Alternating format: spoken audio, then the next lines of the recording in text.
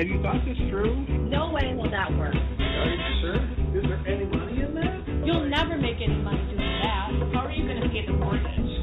Just get a job. You're gonna try to settle that? Why can't you be normal like everybody else? Oh, boy. Were your parents morons too? The savvy entrepreneur to the rescue. Congratulations. That really turned out well. I'm really good know, I wish I thought of that. I never thought anyone would bet. How did you do that? I'm so glad you're pursuing your dream. I wish I had the courage to follow my dreams. Hey, good morning out there. Welcome to the Savvy Entrepreneur.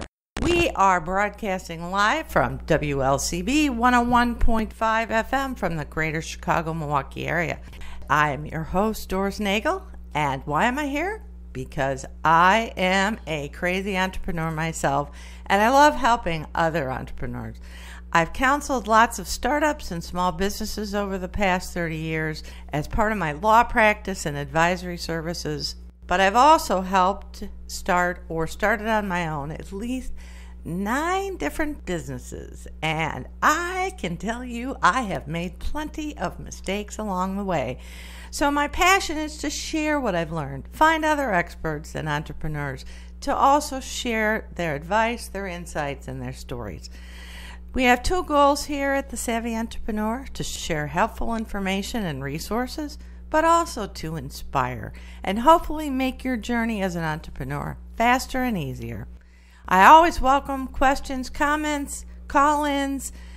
Contact me if you want to be a guest on the show. You know of a great resource at dnagel, N-A-G-E-L, at lakesradio.org. Trust me, the show will be better for your input because this show is about you.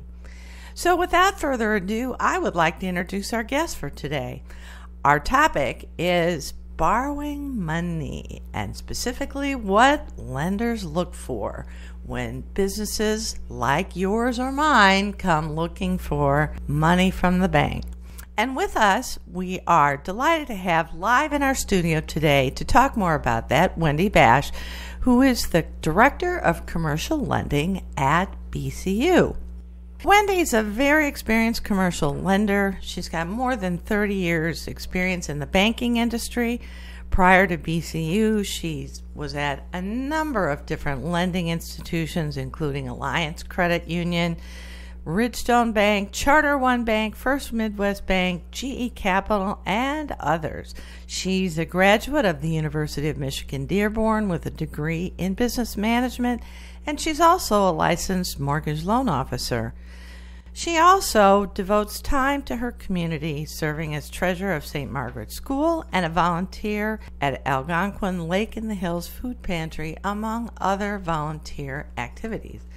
So, just a word about BCU. BCU is a local credit union focused on serving customers and home to almost 250,000 members I will let Wendy talk a little bit more about BCU in just a second, but I want to say, first of all, Wendy, thank you so much for being our guest today. Welcome. Thank you, and thanks for having me, Doris.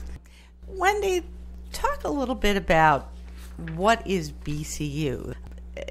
What is it exactly, and how did it come to be? Great question, Doris. BCU is a, as you said, a local not for profit credit union headquartered out of Vernon Hills. BCU started in 1981 uh, when a group of executives in the healthcare industry elected to establish a credit un- union for the convenience of the industry's employees. And actually, that's a theme that rings true even through today. We continue to partner with great companies, almost a hundred of them, and as a matter of fact, and we offer our services and products to their employees. I know BCU, so full disclosure here. I am a BCU member and have been a part of what was originally known as the Baxter Credit Union because I was a Baxter Healthcare employee at the time, and I've remained a loyal member ever since because I can attest that the bank provides great personalized service to people. But I believe as Baxter spun off companies, so I went went with Allegiance Healthcare back in ooh, 1996, I think, when Baxter kind of split in half. And so I know BCU at that time said, well, you were a Baxter Credit Union member, and we want all of the Allegiance people to be Baxter Credit Union members if you want to be, and offered that service. And then uh, eventually, uh, Allegiance was acquired by Cardinal Health, and then that was opened up to Cardinal Health. And of course, Baxter has had uh, and numbers of spin-offs and various companies that have then gone on to merge and join with other people. So That's true. We have these SEG groups that I mentioned earlier, uh, select employment groups, aren't just healthcare industry, but you're right. That's that's the big foundation of our SEG groups. BCU was formerly known as Baxter Credit Union, and we rebranded about a year ago. Well, that makes sense. Uh, in fact, I did a long term project at CDW, and I was amazed to find out CDW is a BCU partner. So, obviously, that's not a healthcare company Yeah. either. So, And Target, Target is another great company Wow. that works with BCU. fantastic. Another great company. So, who can be a member? So we actually have a couple of different ways to become a member at BCU. Um, our eligibility starts with our footprint. So we have six collar counties around Cook, including Lake County, McHenry, DuPage, Kane, Cook County north of 95th Street, and also Kenosha County. Well, that is our listening area because we are sitting here in Lake County and our listening area ranges up into Kenosha County and also parts of McHenry County at times. We have other ways that you can also gain membership eligibility where if you work for any one of our employment groups, you can also become a member or if you have family members who are members, that would also gain you membership. What are some of the advantages of belonging to a credit union like BCU? Well, one distinct advantage is once you become a member, no matter if you move out of state, you are always a lifetime member. Some other benefits include because we're not for profit, everything we do is for the members. And so that affords us the ability to offer low rates, low fees, and higher dividends and more innovative products than you would find in other financial institutions. Well, and I can say from personal experience that eh, I know eh, that sometimes people wonder if your friendly neighborhood bank actually still exists, but I would have to say that when it comes to BCU, and I'm not promoting BCU, but I'll just say from my personal experience, it's a very friendly, very personalized kind of service that I don't think most of the larger banks are able to offer. Do you agree with that? I completely agree. In fact, it takes me way back to what I recall as community relationship banking. I mean, they are very serious about building those relationships with members. And our whole purpose is to empower people to discover financial freedom. And they take that very seriously by, by guiding our members. It's not just what's good for BCU, it's truly what's good for the business and the members. And they are, they're very caring and very friendly, and everything is really around the member first experience. So that should be music to ears for those of us in the community who are businesses because sooner or later most businesses need a bank account and there's a decent chance that they're going to need money at some point in time. So, what kind of business loans or credits does BCU provide to businesses, for example? So we have a whole suite of loans to cater to the business member, and that includes business credit cards, lines of credit, which are both secured and unsecured, term loans, and commercial real estate loans. What are the most common reasons that businesses apply to BCU for a loan? So, a large part of our portfolio is commercial real estate, both owner occupied and non owner occupied. But I do see a lot of requests for small businesses that are looking for maybe they want to take advantage of some inventory purchases and get a discount. And so they want to buy that maybe off season. So they'll apply for a line of credit. I see a lot of term loan for equipment purchases, which are all can be very smart to add to your business, especially if you're manufacturing something and you want to create more products and grow to the next level. Well, so now here's the key question: is what what are you and other commercial lenders at BCU looking for when you decide whether to issue credit to a business or how much credit? Sure. Well, we're looking for businesses that really have been operating for at least three years and have at least two years of profitability. I understand there's a need out there as well for startups. That just isn't our space, but there's certainly a lot out there to help a startup business. We would like to see. Well, hold, hold that thought, Sure. because I want to ask you a little bit about that. I know that's not BCU's sweet spot, Mm-hmm. But I also know that with 30 plus years in the banking industry, you are a fountain Mm. of information when it comes to all different kinds of lending. So hold that. Uh, We'll hold that thought and come back to that. Okay. So we we are looking for members who have been keeping their credit good above 650 and who have a passion for their business and can tell us not only how they got in business or why, but where they're going and how they're going to get there. Interesting. What are the typical things you, the mistakes that you see when businesses come to you wanting money? What are some of the most common mistakes? So a lot of mistakes are not having seen or looked at your credit in a while and maybe there's some unpleasantness in there that they haven't addressed. I also see sometimes there are economic and environmental factors to a business where the borrower maybe hasn't considered the, the impact on, on the long term. So give me an example of that. For example, if somebody came to me and were looking to invest in a big box mall, big box meaning like Well, that's probably not a good idea. Right, anyway. Exactly. let- we'll put that aside for a minute. Well, it's it's choosing the right product, right, and the right business and the right service for the times. I mean, you're, you know, a lamplighter isn't going to come get a loan from you. There's no lamps to light. You know, what I mean, I'm going kind of way back. Right, right. A horse and buggy. Right, You know, yeah. Uh, business. Right, whip know. whip makers. You know, Yeah, with the horse and buggy. movie rental. right. So that sort of thing. Yeah.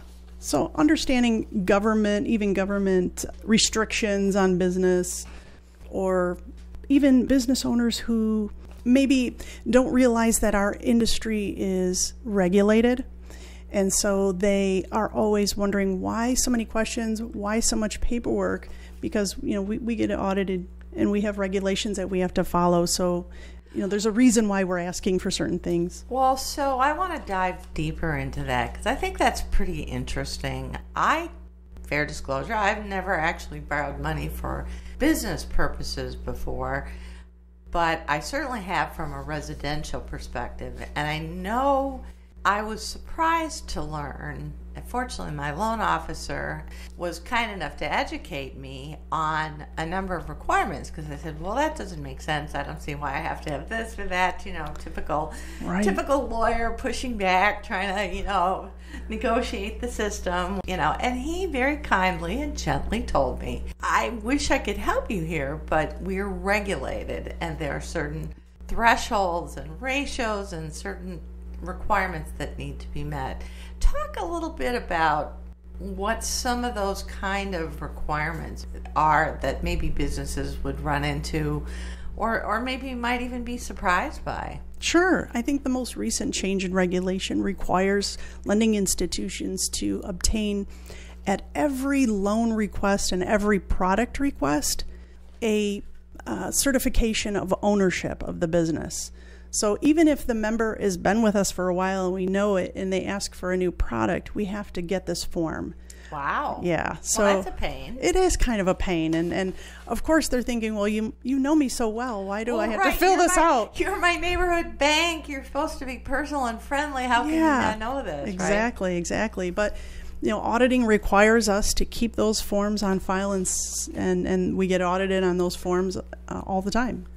So, what are some of the other kinds of federal requirements? Because I, I think people who borrow money don't always understand which things are bank driven and which are actually driven by regulations that you just can't get around. Well, first of all, consumer versus business are two totally separate worlds. You're going to have a lot more consumer regulations than you would on a business side.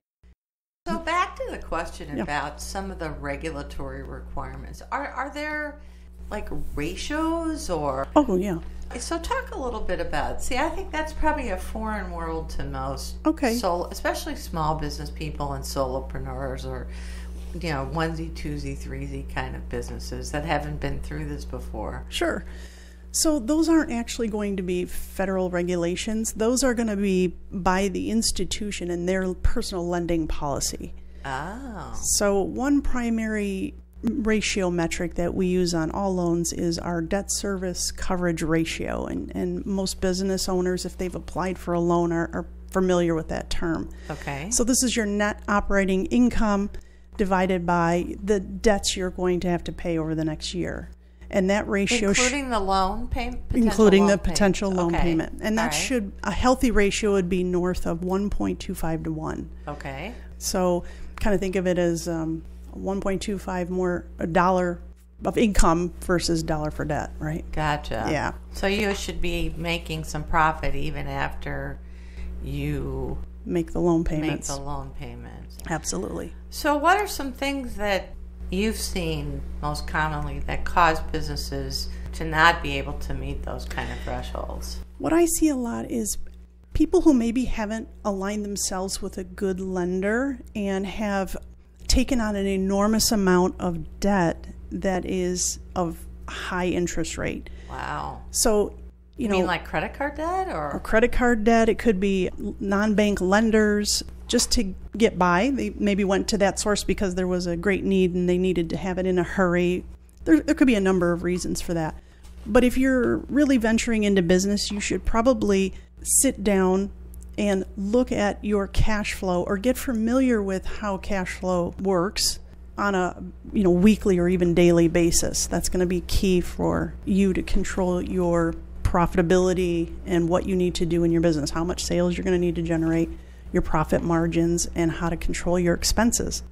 Do most business owners who come to BCU, do you find that they have a good working knowledge of that? Or is that something that you end up coaching them a little bit on? Yeah, you know, we, we have the whole gamut. We, we get some more sophisticated and less sophisticated business owners, and we guide them along the way if, if they don't know about it.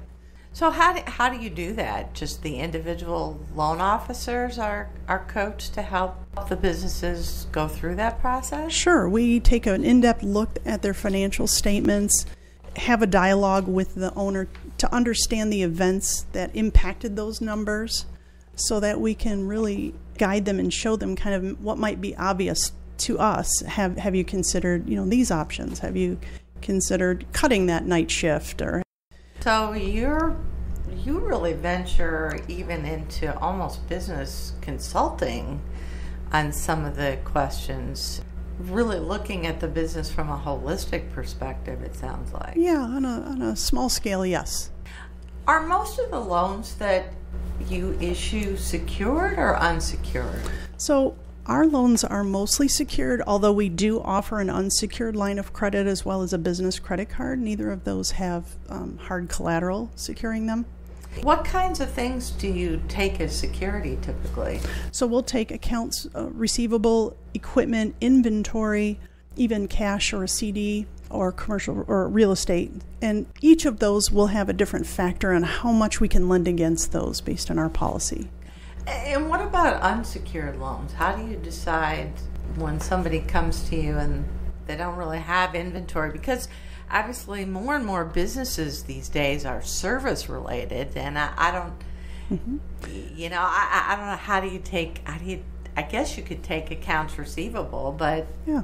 yeah, so even that gets to be a little unpredictable for some service businesses. Sure. So then we would have to turn to the cash flow of the business. How strong is it? How strong has it been? Is it trending in the right direction? And then we would look to the guarantors to see what their personal credit looks like. And if it's strong and the cash flow is there to support the repayment of the loan, then we can feel comfortable about going into an unsecured loan. So, what kind of business makes the best client for you? I mean, what kind of skills should they have? What kind of experience or expertise or just knowledge should they have to really be a good client for you? Sure. And it's not even a good client, but you want them to be successful. So you have to be a little savvier today than you used to be. Yeah. Um, you how, have to- how so? Well, you have to do your homework. You can always tap into a commercial lender that's in your local lending institution. They are a wealth of knowledge to get you well, hopefully they are. Anyway. Yeah, but you you want to come to the table with full disclosure and you want to be truthful in what you're presenting, right? There's nothing worse or nothing that'll kill a deal faster than if the lender finds out that you have an IRS tax lien or they find out that you have a pending right, litigation so you or gotta have a story or two here. So share with me. I didn't know names, Sure. faces. From all the years of your experience, a couple of things where you found businesses. I'm sure thought that they were kind of like packaging their home for sale. You know, kind Mm-hmm. of they want to put it in the most positive light possible.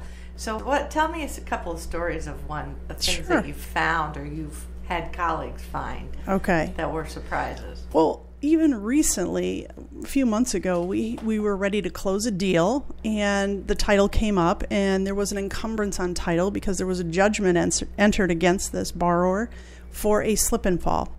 And in my experience, I've seen a lot of nuisance slip and fall cases, but when I called the member, they indicated we have no idea what you are talking about, which is Seriously? unusual. So yeah. they really didn't. They really didn't. And I thought, how could you not know when a judgment is entered against you? Well, it turns out that they had an old attorney represented as the as the contact under the Secretary of State, Okay. and all the notifications were going to that old attorney. And the old attorney was not.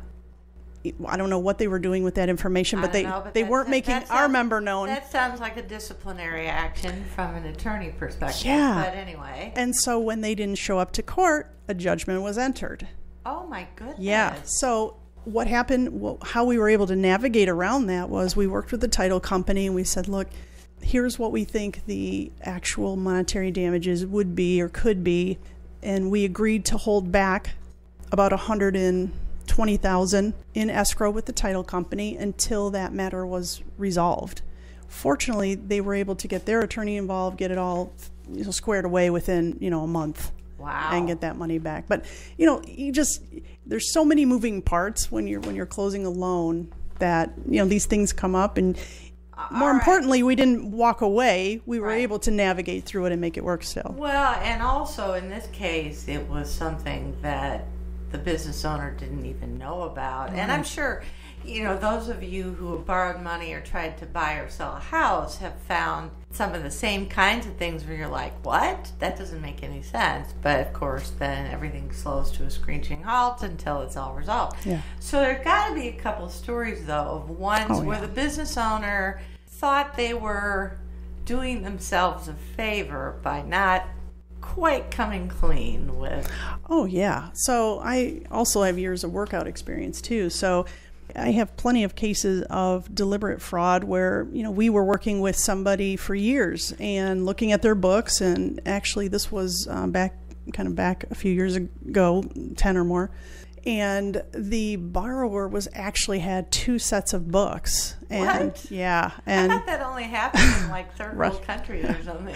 nope still still happens and at that time that that kind of loan was for inventory so boat inventory specifically and so that inventory has a tendency to move around a bit right Oh, yeah, that's so right. so we saw all kinds of scams about you know oh we'll give you free shrink wrap if you bring your boat back so that when the bank comes and they they count the inventory your boat's there but it's really sold and unpaid so you know Wow. i've seen lots of different All right. examples And I have more. These are great stories. Just Yeah. to- these fall under the heading of believe it or not. Yeah. Right? But I do want to say that even with all those years of workout, I, I want to say that 99% of borrowers want to do the right thing and they do the right thing to the best of their ability. Well, so there's probably a gray area in the middle, okay? So there's the, the schemers and the scammers, and those people, any bank that finds out about them, whether it's BC or any bank, is going to want to run for the hills mm-hmm. because these people are you don't know what to trust on them. And then there's the ones on the other end of the spectrum, which are things that the the borrower didn't have any clue about. Literally, sincerely, and honestly, until the whole process, the due diligence process, came uh, came to light. There's got to be stuff in the middle, though, where people just think that they're painting a rosy picture, but Oh, yeah. not really helping themselves. Yeah. that explains pretty much every projection financial statement. Well, there you go. You know? There you go. Um, yeah, over optimistic, you know, representations of where the company's going to go. I think one skill is to be realistic about, you know, your industry and your business. Coming to me and saying, I know I've had three years of losses, but I just feel like this is going to be a great year is not sufficient enough to support, you know, a, a projection. I mean, you really got to know your industry, know what's going on, and really have some basis and assumptions built in, right, to where you're going. yeah. But you're right. I mean, if, if, if a lender is going to fraud you, I mean, they're, and deliberately, they're gonna they're gonna find a way to do it, and and we try to prevent against most of that, and that's why we have all these regulations and these policies. But for the most part, if you come with full disclosure and you tell us up front some of that hair on the deal, we could probably navigate it rather than try and hide it or push it under the rug.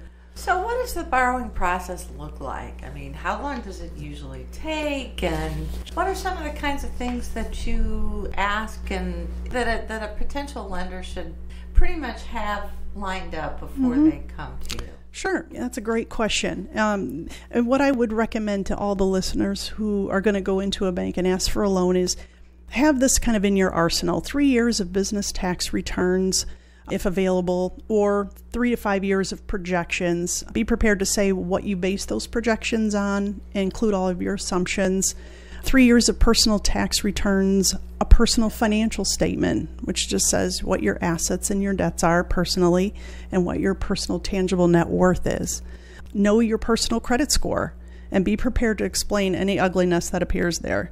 Include your resume or a bio, a brief paragraph about you and your history and why your experience is lending to this request. Um, and then, if you're a startup, have a business plan.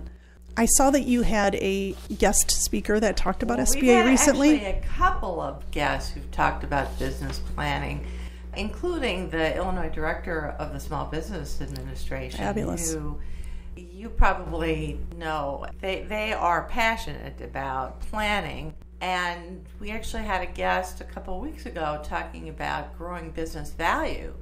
That gets a common theme here. There's been a lot of common themes through our guests, actually.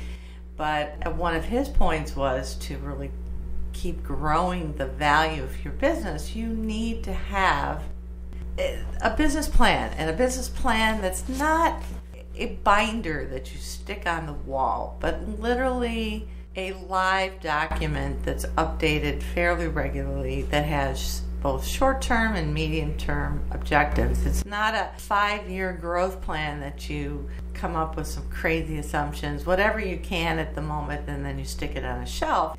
It needs to be a living, breathing document. And uh, the point that both of those speakers made is that the quality of the business thinking that goes that comes out of that it's so obvious which business owners have actually been through that process and make it a living breathing process versus ones that put it on a shelf. It's not the document it's the process. Yep.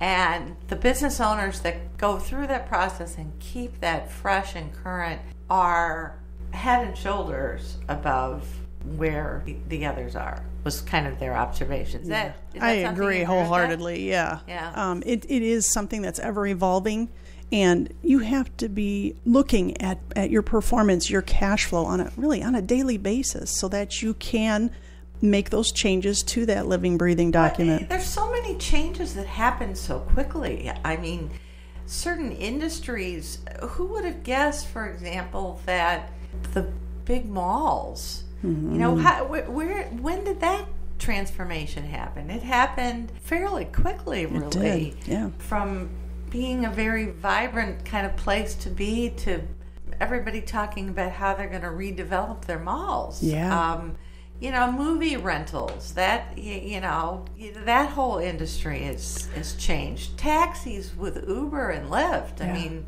the industry changes that you need to keep up with, and competitors of figuring out where unlikely competitors might come from is a constant process. It is. I mean, the technology behind all those things that you just mentioned are, have been huge contributors to those changes, right? Online purchasing, Right. uh, less bricks and mortar stores. But Right. they're finding, you know, I've read a lot more articles lately that bricks and mortar aren't going to go away in total. People still want to go in and try it on and touch it and feel it.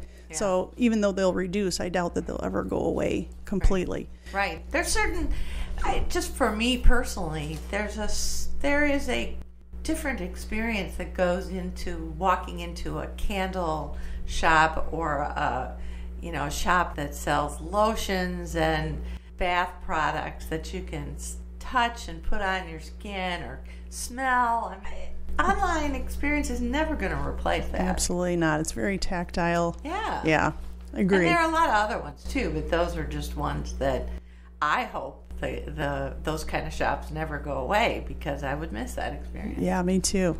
And there's other changes too, obviously. I mean, you alluded to government changes. There's always regulatory changes that seem like uh, they can affect a business, whether it's interest rate changes or if you're sourcing from places like China, trade regulations and tariffs and taxes and things like that that are always changing, right? Absolutely. Yeah.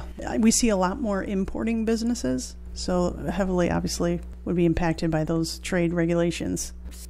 We touched on this earlier, but I know you've had experience with other kinds of lending. What are what are some of the things that startup businesses or borrowers that don't meet your criteria? What are some other things that they should maybe think about in terms of getting ready to eventually get a bank loan? So, if you're not quite bankable yet, there's some things you can do to kind of prepare yourself. So, for example, in this last month, I probably had four requests from borrowers who didn't qualify either because of their credit rating or their cash flow, their business cash flow. But we were able to get them just some experience. So we put some money in an account, a CD, like an interest bearing CD, and use that as collateral to give them a secured credit card or give them a secured line of credit where we can, you know, give them exactly how much they've put in.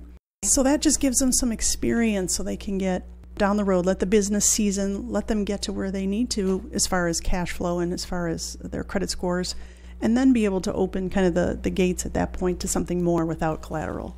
So, you know, without promoting competitors, though, what are there other kinds of products that they ought to maybe think about Sure. as a place to start if they're just Yeah. getting started or they don't they don't meet your threshold? Sure. There's plenty of lenders like um, Kabbage and Lending Tree, Loan Builder. These are non-bank traditional, non non-traditional lenders, where Well, what does that mean? Non-traditional lenders. so they're they're not a bank or a credit union, Oh, so they're not governed by the FDIC or the NCUA. well, that must be nice. Yeah. But I guess that means they prob- need to be very careful. They do, they do, and and these um, that I mention are more credible or ones that I've seen for a long time, and I've heard experience from other borrowers that you know they're they're pretty legit. You know, there's there's a lot out there, so I would be wary, do a lot of research if you are going to do that. But the, but these lenders are really known for quick cash. You know, eh, short term, good for a short term borrow, borrowing. They're not pawn shops. Right,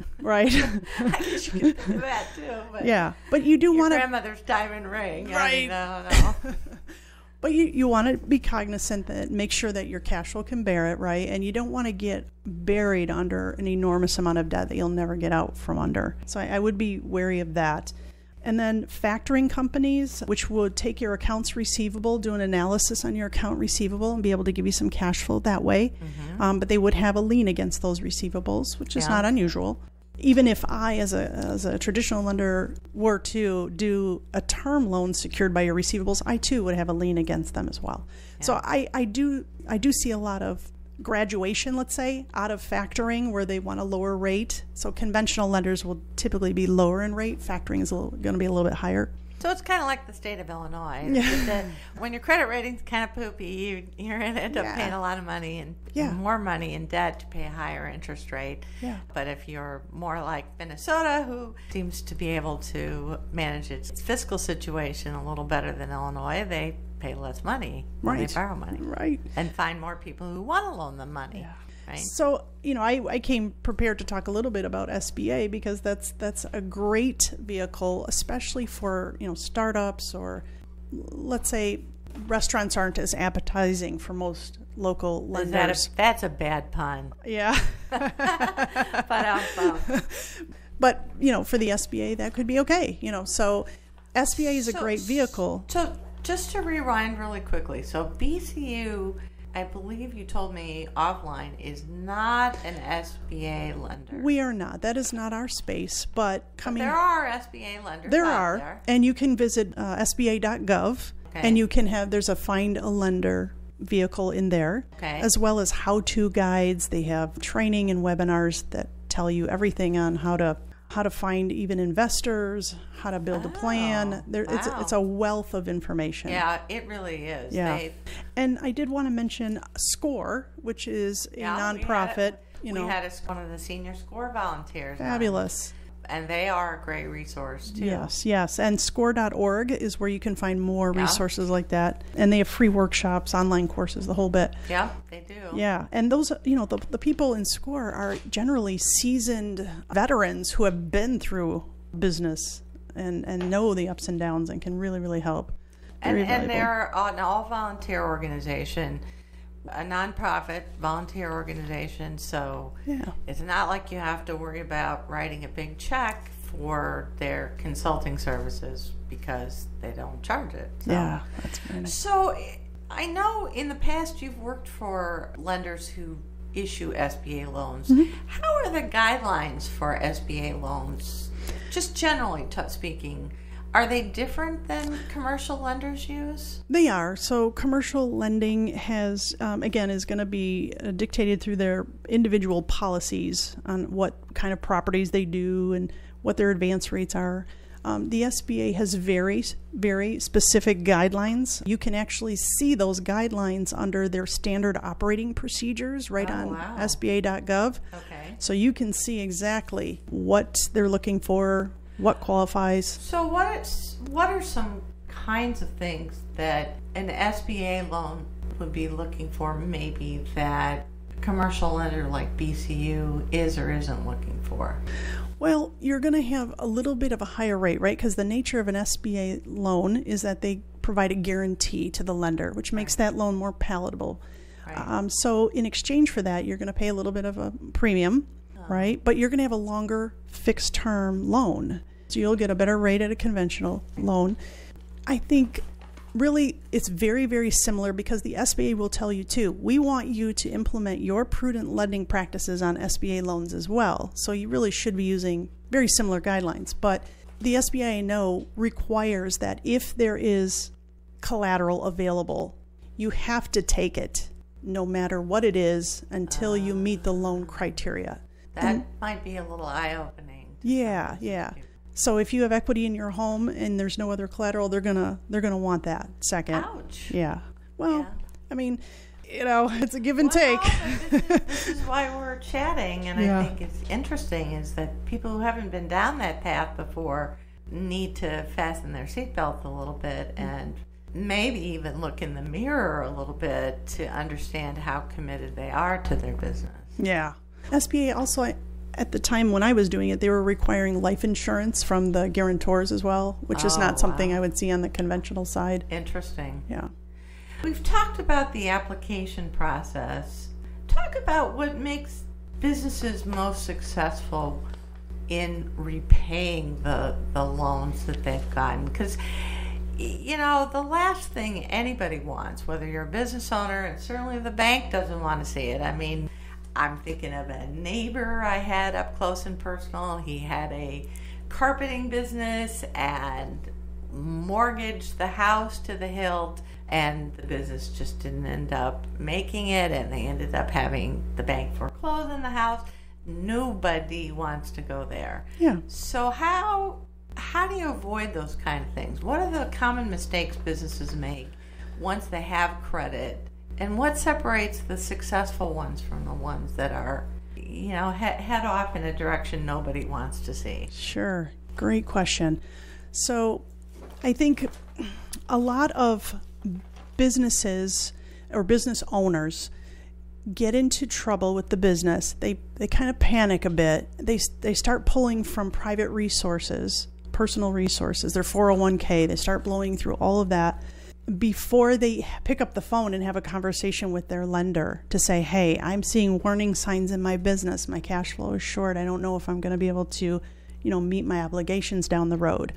If you do see those warning signs, I highly encourage you to pick up the phone, call your lender, let them look at the financials, let them hear what you're saying, and see if they can't help you right the ship, so to speak, or at least get you some resources to to get where you need to go. So, what are the kinds of things that a bank might be able to help do besides give advice? I mean, do you restructure loans? Do you Yes. look for secondary financing? I mean, I don't know. Yeah, I mean, we could definitely do all of those things. If it's something that we can't truly help with, we will try and find other resources. But we do try to try to look at it and see if we can do it ourselves.